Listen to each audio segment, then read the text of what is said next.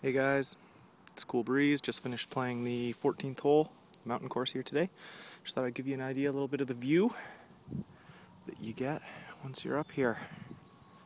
So, this is our little 19th hole, betting hole. There's the city of Victoria beneath us there.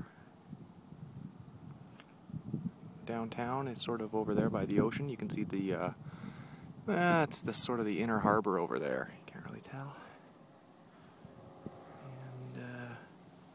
It wasn't so cloudy, you can kind of see those mountains in the background over there. That's Seattle over there. Across the water over there, that's Seattle. And uh, if you cared even a little bit, if you went, if you kept going left from the town that you see, that's where I live, over there, down by the water. Anyway, that's the view from here, and uh,